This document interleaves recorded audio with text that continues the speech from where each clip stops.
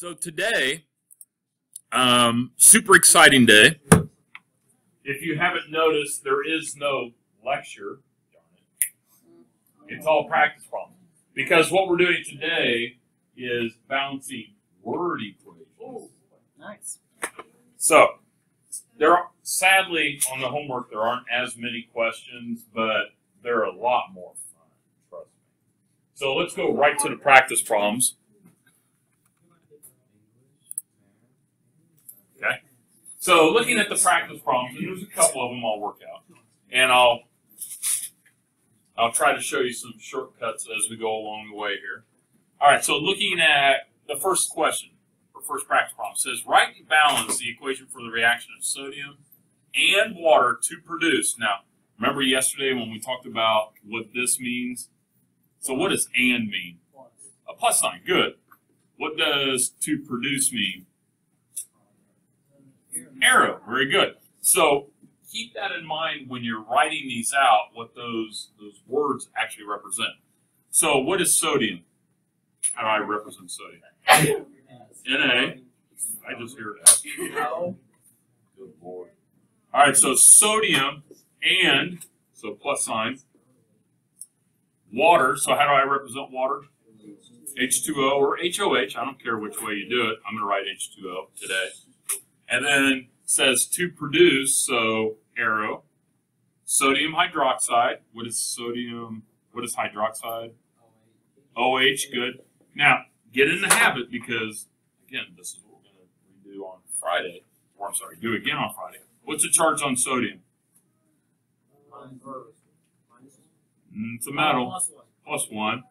Hydroxide. Okay, that's one of your polys, so make sure you know that. So that one's balanced as written, looking good. Um, and hydrogen gas. So how do I represent hydrogen gas? Here, let's take a look. Now, it was again one of the things that we talked about last topic. So let's take you back to yesteryear here. It was a long time ago. Bless you. Uh, if you take a look at the notes at the beginning there, remember that? Ah. So, anytime that you see hydrogen, nitrogen, oxygen, fluorine, chlorine, bromine all by itself, this is key, by itself, not in a compound, it's diatomic. So if it ends in gen or ine, oops, okay, or ine, then when it's by itself, like hydrogen gas, this is how you represent hydrogen gas. Now, even if I'm representing hydrogen and I don't say what state it's in, it's still the same, H2. Okay. So if I were to say we have liquid bromine, how would you represent liquid bromine? Br2. Okay. So don't worry about the state. Worry about who it's with or who it's not with. If it's by itself and it ends in gen or ine, make sure that you're representing it with a polyatomic. Or I'm sorry, diatomic. Okay. All right. So getting back to that, so how would I represent hydrogen gas? H2. Good. And just out of curiosity, what's the charge on sodium when it's all by itself? No charge. Remember, you don't get excited when you're by yourself. It's only when you get with somebody that you get to get excited. Remember that part. Okay. Now, That goes for every element. every element, yeah. So if it's by itself, it has no charge. It's not until it gets with somebody or something different that it's going to have a charge. All right, so go ahead and do the inventory. So we have sodium, hydrogen, and oxygen. And for some of you, this might get a little old, and that's okay. But for some of you, this might be a comfort food for you, so to speak. So how many sodiums on the left? How many sodiums? One. One. How many hydrogen? Two. Two. How many oxygen? One. Okay. And then over here we have how many sodium? One. How many hydrogen? Three. Good. Oxygen? One. Okay. Well, looks like we only have one option here. And so sodium looks good, oxygen looks good. And in this case, sometimes you just have to trial and error to get this to work because what's bad is we have hydrogen here and here. So, and we're trying to get, let me ask you this. If I'm looking at, say, hydrogen on this side, is that an even or an odd value? Even. So no matter what number I put in front of the water, it's always going to be even. Over here, though, we have a what number situation? We have an odd situation. So we want to make sure that what we get over here is even. Okay. Keep that in mind when doing this. So what would be a good number? And again, we're just experimenting here. What number would be a good one to try here?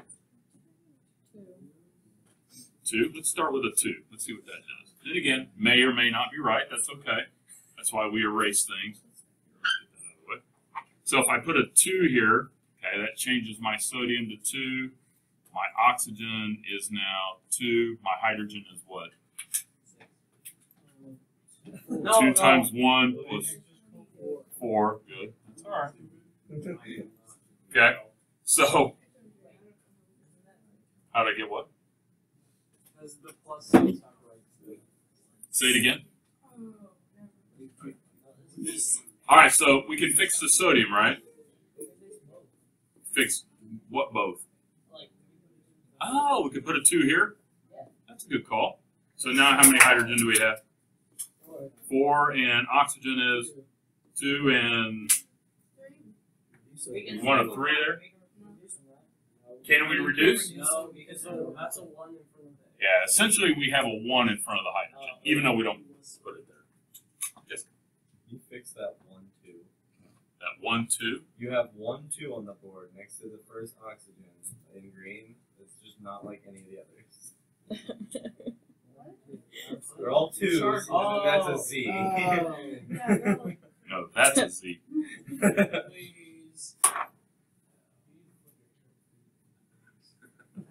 all right. oh no. let's take a look at the next one. What? All right, number two, B says write and balance the equation for the formation of magnesium nitride from its elements. Ooh. All right, what does for the formation mean? Arrow. Arrow, very Yes. nice. Okay, so it means arrow. So what are we gonna? So we're forming magnesium nitride, right? So how do I write magnesium nitride?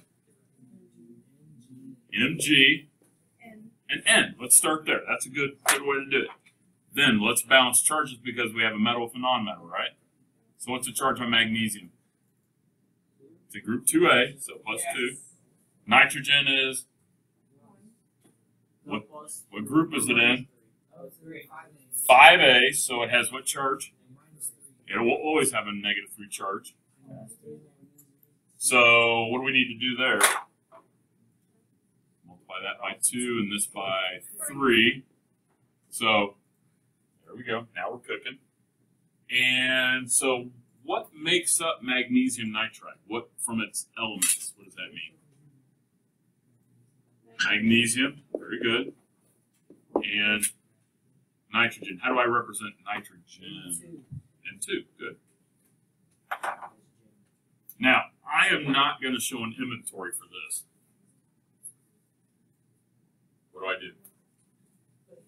Put a three. And I'm done, right? Now, if you need to show an inventory, go for it. Yeah, Joanne. The little three? By, what do you mean?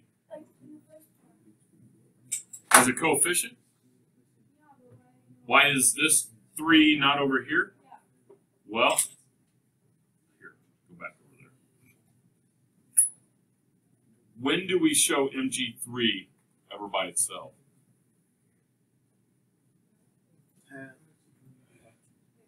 yeah. When would you ever have MG with a subscript 3 by itself? Uh, yeah, the only time that we would do that is in a compound when we need to balance charges. So, since we need to represent 3 magnesium, then I'm going to put the coefficient in front. Because that tells me now I have 3 magnesiums. Where here, I needed the three because I had three up here to bounce charges. The nitride here or here?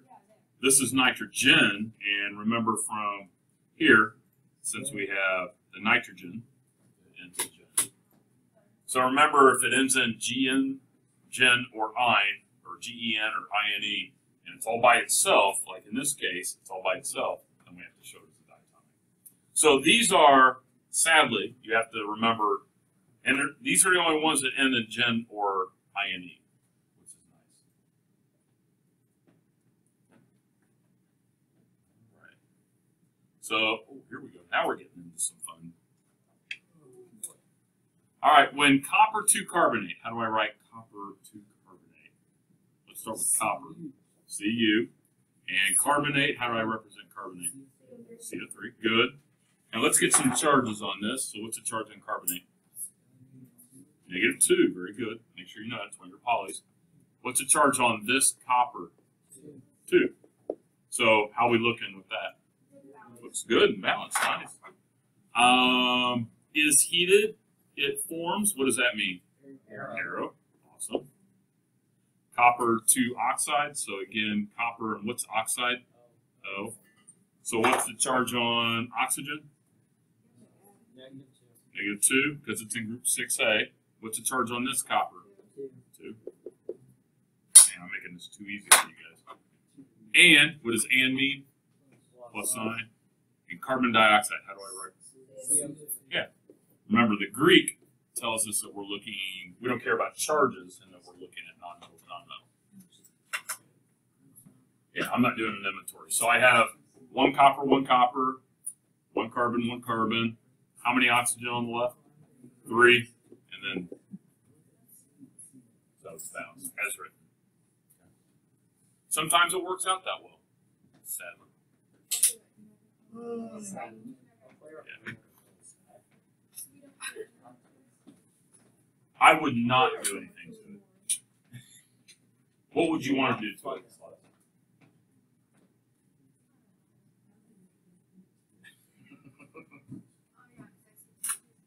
There you go. All right. Sadly, 2D is the same as the first example. Sorry about that. Or do you want? Ooh, I got an idea. Let's change that. Let's not. Let's change this to, um, uh, let's say calcium, Oh, calcium bromide. No, not bromide. Let's not. That, that. Get bromide. Let's go with uh, calcium nitrate. Ooh, yeah, are delicious. And that's going to react. Oh, oh, sorry. And um, let's say aluminum. No, uh, sodium. Sodium phosphate reacts to form calcium phosphate and sodium nitrate. Oh yeah, this is real deal, baby. Real deal. It doesn't get any more real than this. So calcium nitrate and sodium phosphate react, react, react to form calcium phosphate and sodium nitrate. Kind of gibberish there. All right, so how do we represent calcium nitrate? CA Ca N2. NO3 since it's nitrate, right? So polyatomics. So what's the charge on nitrate? Or I'm sorry, yeah, nitrate. Minus one. Make sure you know this for Friday, guys. What's the charge on calcium? It's in group 2A. Minus. Group 2A plus 2. So is this good? No, we need two of those. Okay. And it says, and Sodium phosphate. So how do I represent sodium phosphate? NaPO4. Okay, start there. What's the charge on sodium? Group 1A. 1. Phosphate, negative 3. So how do I balance that? Na3. Very good. Uh, reacts to form arrow. Calcium phosphate. So calcium Ca. Phosphate's PO4. What's the charge on calcium again? Plus 2 phosphate. Minus 3. So that means I need good CA3. And I need two of those. Man, this is fun. And sodium nitrate. So Na NO3. Good. And sodium is plus 1. Nitrate is minus 1. Okay. So the charges on the formulas are balanced, but not the equation. Could be, but it's not. I'm gonna. No, no, we're fine. I, I just wanted to make room. Okay. All right. So let's do an inventory here. So calcium, nitrogen, oxygen, sodium, phosphorus. That's all of them. So calcium, how many? One. Nitrogen, how many? Oxygen, how many? Ten. Good. Sodium, three. Phosphorus, one. Good. On the other side, let's keep it in the same order. Calcium, nitrogen, oxygen, sodium, phosphorus. So how many calcium? Three. Nitrogen, Oxygen, eleven. Good. Four times two is eight. Plus three, eleven. Sodium one. Phosphorus two.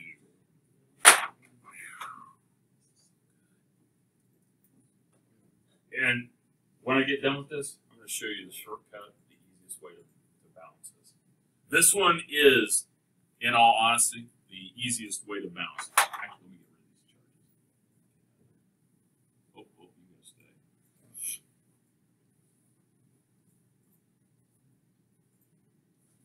Okay.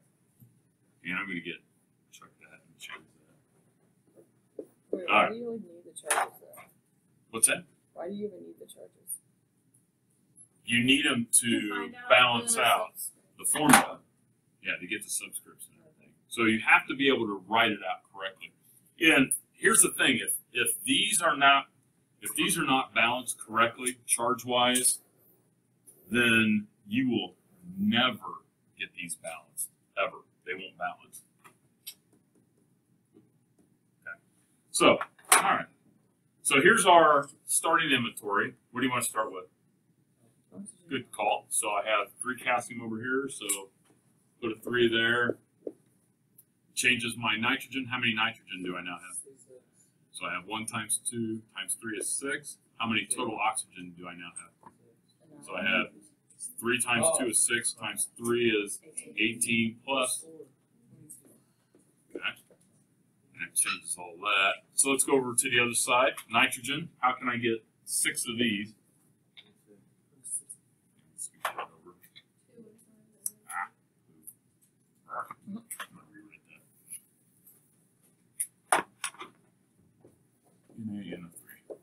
So what was that again, Kate?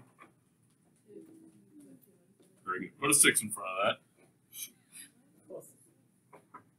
Because we need six nitrogen, right? So the reason is we need six nitrogen. So I put a six, which now changes my sodium to what? Six. And now how many oxygen do I have on the right side? So six times three is 18 times four times two. So we have eight plus 18, 26. All right. Um, so calcium looks good. Nitrogen looks good. Skip the oxygen because it's all of these. Never ever try to do that first. Uh, sodium. How do I get this changed? The two right there. So now I've got six sodium, two phosphorus, and how many oxygen do I now have? A lot. Okay, so three times two is six, times three is eighteen, plus two times four is eight. There, twenty-six. So it's balanced. Okay. You want to see the easy way to do it? No, the easy way. The easy way first. You have to learn how to crawl before you can sprint. Remember that. I'm a genius, baby, and I learned how to sprint. Oh. All right, so everybody have that? Here, let me let me chuck these guys out of the way. Now, let me ask you a question. If I look at the non-metals like NO3, PO4, PO4, NO3, do those does nitrate change from the left side to the right side? In other words, does anything about NO3 change No. from the left to the right? Oh, other than that. But I mean, nitrate, NO3. Does NO3 change? No. So it's still a negative one charge, and we have NO3 on both sides. The phosphate, PO4, other than there being two on the right side, does the PO4 change? No. So I like to, whenever I see polyatomics and they don't change from left side to right side, whether it's ammonium or a negatively charged one, I like to look at the polyatomic and go ugly early. Remember that, go ugly early. And what I mean by ugly early is look at the calcium phosphate. So I have three calciums and two phosphates. So this one is the one I'm going to start with. How many phosphates do I have here? How many total phosphates, PO4s, do I have? Two. So how many PO4s do I have over here? One. How do I get two? Put a two there. Okay, everybody following me? So now I've got the same number of phosphates, PO4s. How many sodiums do I have? Six. How many do I have over here? Put a six there. Okay. Now, how many nitrates do I have? NO3s, I have six of those. How many do I have over here? Put a three there. Okay, so now I have six. How many calcium? Three. I'm done. First?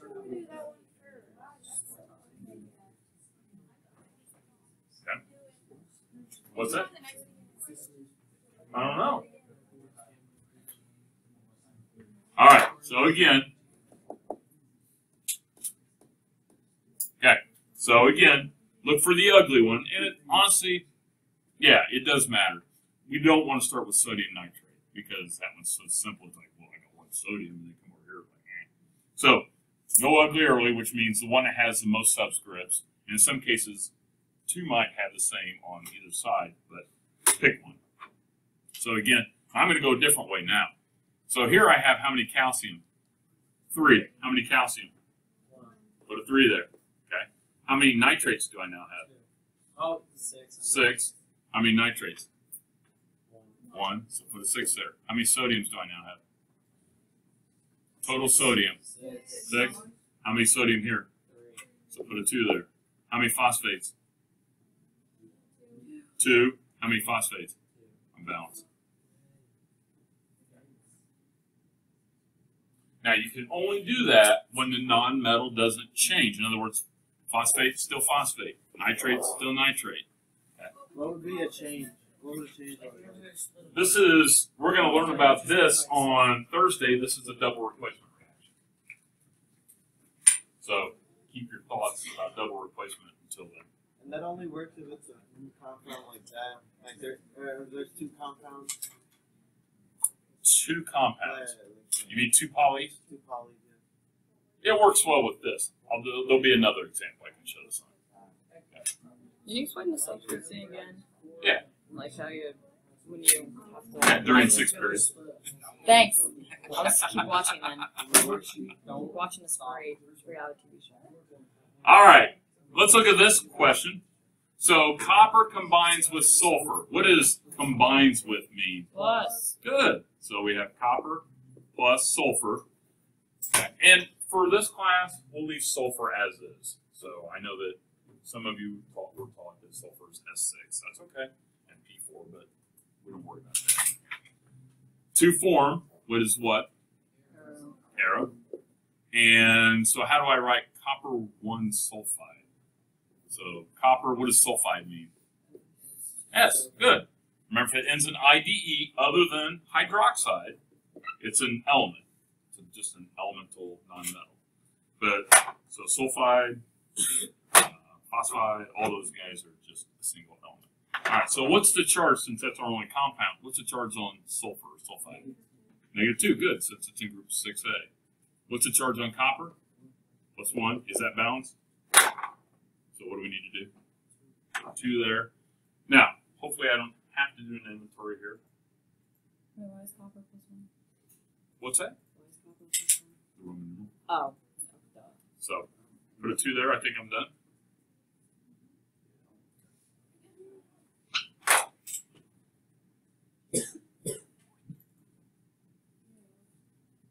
Oh, we have two more. We're never done. Ooh, look at this one. This. This is good. Nice. All right, silver nitrate. How do I represent silver nitrate? Excellent, NO3. And we'll get the charge here in a moment. Um, now let's do it right now. What's the charge on silver? One. Good, plus one. Nitrate, negative one. Now, the nitrate, I would expect you to know the charge. The silver, I would expect you to go to the periodic table and find. Okay? Reacts with, what does that mean? Plus sign, good. To produce is your arrow. Okay. So sulfuric acid. If it ends in ic and there's no hydro in front, are we looking at a poly or an element? We're looking at a poly. Good. So if I get rid of the ic and I replace it with what? ATE. So what is sulfate? SO4. Good. So we have SO4. What's the charge on SO4? Negative 2. So how many hydrogens should we have? 2. Okay. That's how you name your acids or write your acids out. Okay? To produce silver sulfate, silver, and what's the charge on sulfate again? SO4. And what's the charge on that? Negative 2. Silver is plus 1, so we need two silvers. And I apologize for giving you that. Nitric acid. Again, it ends in ic, so that's 8. So nitrate, NO3. All right, let me ask you this. Is this a problem that we could.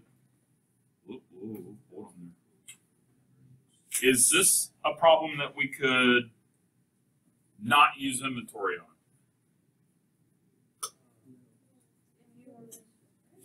Let me ask you this. Is this a problem that the non-metals don't change on? Yeah.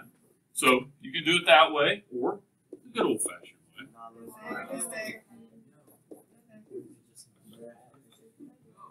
You can. It's okay. Let's do that. Let's do that. Alright. So which one's the ugly one? There's actually two of them, so it doesn't matter which one you start with. We're going to start with the AG2SO4.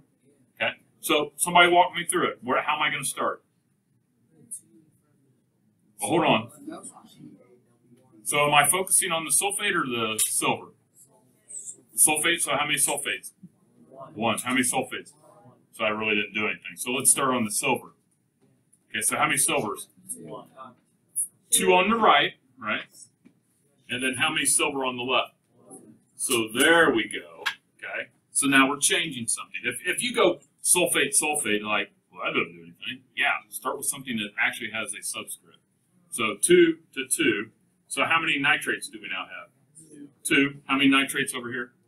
One. So what do we do? Put a two there. So now we got two nitrates. How many hydrogen? How many hydrogen? We're balanced.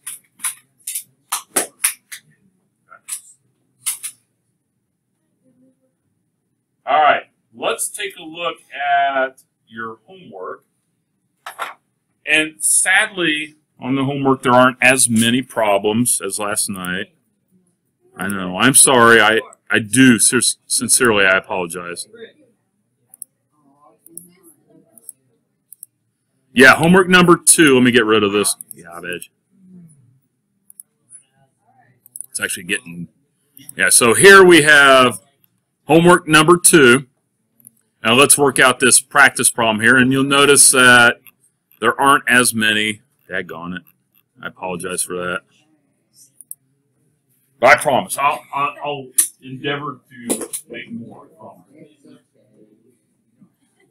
All right, so looking at the first one, and again, it's just more of what we've been doing. So magnesium metal, how do I write that? Mg. And reacts with, what's that mean? Plus sign, there you go. Nickel 3 nitrate. So nickel, and how do I write nitrate? Nickel? So NO3, and what is the charge on nitrate again? On the nickel? Plus 3. So that means I need how many nitrates?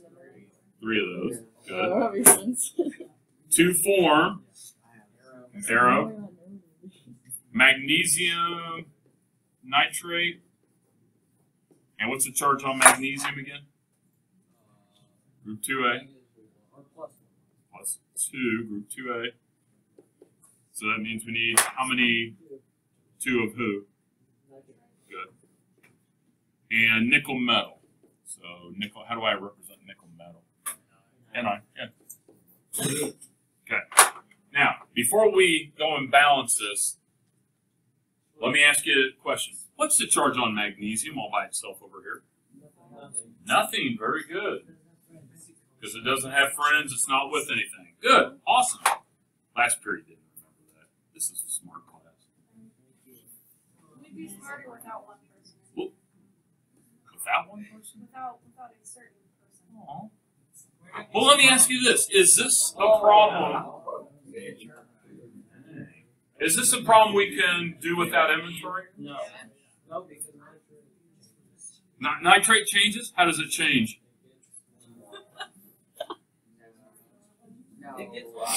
Life. What's that? One more with life. But NO3 is still NO3 on both sides, right? yes, sir. Yeah. So let's let's do this. Okay. So I'm going to start with this one, and it doesn't matter. I mean, if you want to start with the two or the three, I don't care. So how do I get the same number of nitrates on both sides? Put a two in front of the nickel and a three in front of the magnesium. So now we have how many nitrates?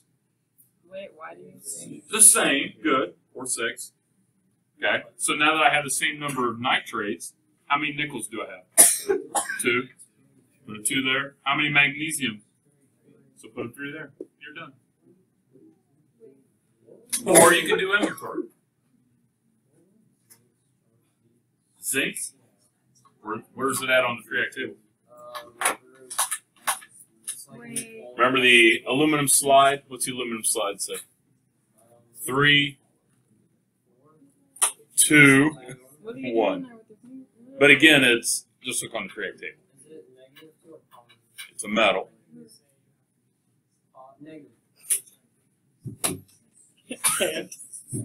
Wait.